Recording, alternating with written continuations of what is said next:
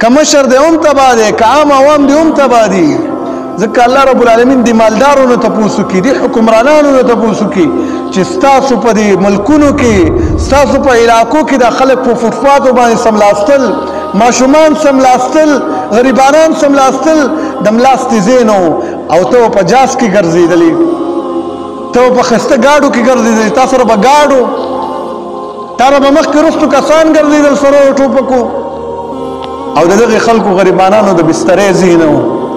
الله رب العالمین له موږ څنګه جواب ورکوه تاسو دومره سنو الله رب العالمین کله ستپوسو کې چیرته د دوی د خوب کمزې برابر کړي دي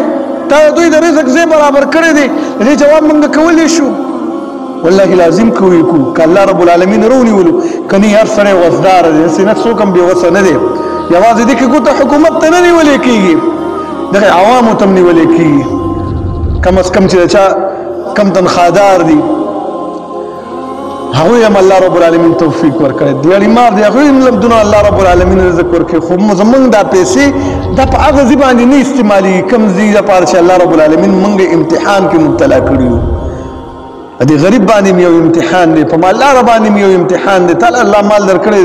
ته په غریبانو باندې لګي او کنه کمزې د حاجت د پاغه ځی باندې لګي او کنه دې سبا الله رب العالمین ته پوس کوي د خلکو نه نو ډیر خلک په قیامت کې الله رب العالمین د نورو په خلکو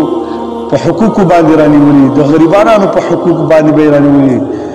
د ګوندی په حق باندې به رانیولي د کمزورو په حق باندې به رانیولي الله رب العالمین خو چې مال موږ لرا کړی په دې کې د ډیرو خلکو حصې دي الله په دې کې په موږ باندې زکات لازم کړی دی صدقې را باندې لازم کړی دی صدقه الفطر سرسایي را باندې لازم کړی دی قربانیان را باندې لازم کړی دی د بچو حقوق د خځو حق د ګاونډي حق دا ټول الله رب العالمین په موږ باندې را لازم کړی کله